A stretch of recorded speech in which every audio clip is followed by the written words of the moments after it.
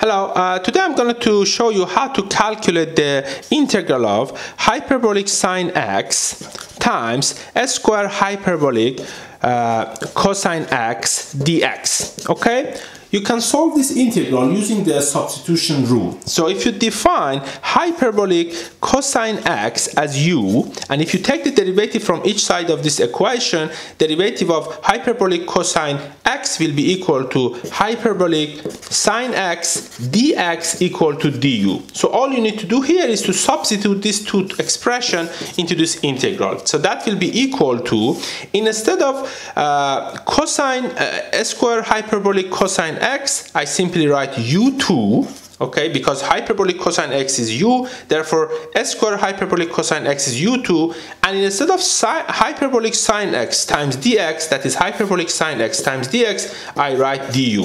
So integral of u squared du we know it is equal to u with the power of 3 divided by 3 plus c which is the constant of the integral. So all you need to do here is to substitute this parameter u with the definition of u, which is hyperbolic cosine x. Therefore, this will be equal to uh, this will be equal to uh, hyperbolic cosine x with the power of 3 divided by 3 plus c. And that's the solution to this integral. I hope you found this video helpful. If you're interested please feel free to subscribe to this channel so that you get updated when i upload new videos. Thank you